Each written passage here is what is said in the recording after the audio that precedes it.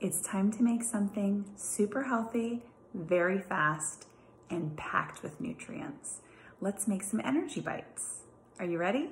So today's recipe comes from my cousin, Chelsea. Hi, Chelsea.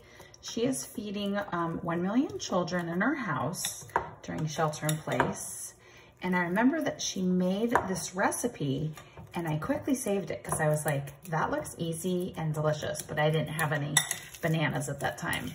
But now I had two super ripe black skinned bananas. So what I'm doing is I'm just mashing that up.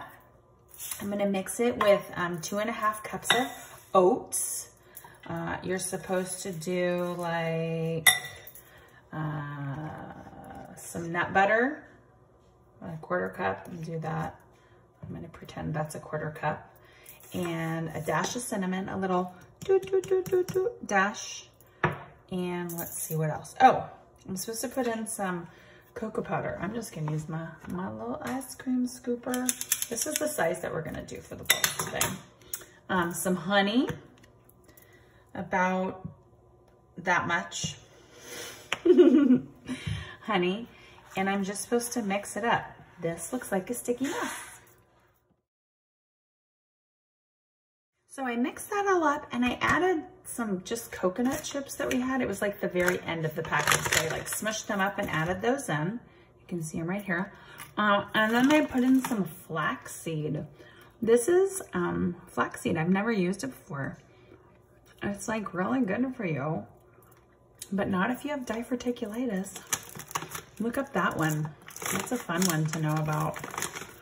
Um, now we're gonna scoop these into balls. I'm gonna start trying with this and then probably I'm gonna have to like roll them. So that's why I took out my rings and put them on my, my cookie sheet. I just have this one with some parchment paper and then I'm gonna put them in the fridge.